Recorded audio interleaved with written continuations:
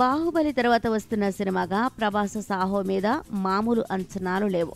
ఇప్పటికే దుబాయ్లో కీలకమైన షెడ్యూల్ పూర్తి చేసుకున్న ఈ యాక్షన్ థ్రిల్లర్ ప్రస్తుతం రామోజీ ఫిల్మ్ సిటీలో షూటింగ్ జరుపుకుంటోంది. ప్రభాస్ కూడా ఇందులో పాల్గొంటున్నాడు.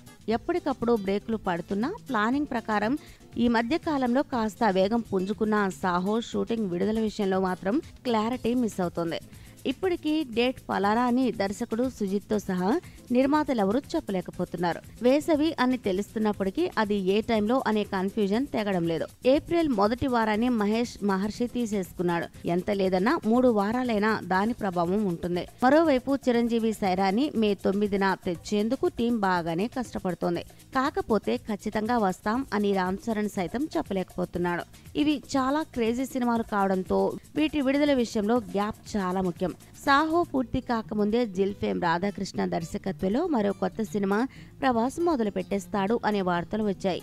కానీ తర్వాత మాత్రం సైలెంట్ అయిపోయింది. ఇప్పుడు సాహో కేవలం టాలీవుడ్కి సంబంధించిన సినిమా కాదు మూడు భాషల్లో ఏకకాలంలో తీస్తున్నారు. యాక్షన్ పార్ట్ యథాతథంగా ఉంటుంది కానీ టాకీ సీన్స్ మాత్రం పదే పదే తీయాల్సి ఉంటుంది. కాబట్టి సాహో డేట్ చెప్పడంలో ఇబ్బంది పడుతున్నారు మేకర్స్. డేట్ ముందుగా అనుకోకపోతే మరో చిక్కు ఉంది. హిందీ వర్షన్ కూడా ఉంది కాబట్టి అక్కడ భారీ విడుదల ఏమున్నాయో చూసుకొని దానికి అనుగుణంగా ప్లాన్ చేయాలి. లేదంటే తేడాలు వచ్చేస్తాయి. గ్రీన్ మ్యాట్ వేసి షూటింగ్ జరుపుకుంటున్న సాహోలో గ్రాఫిక్స్కి చాలా ప్రాధాన్యం ఉంది. అందుకే పోస్ట్ ప్రొడక్షన్ కోసమే నాలుగైదు నెలలు కేటాయించబోతున్నారట. మరి ప్రభాస్ వీలైనంత త్వరగా ఈ ఫ్యాన్స్ టెన్షన్కి చెక్ పెట్టి డేట్ని ప్రకటిస్తే బెటర్.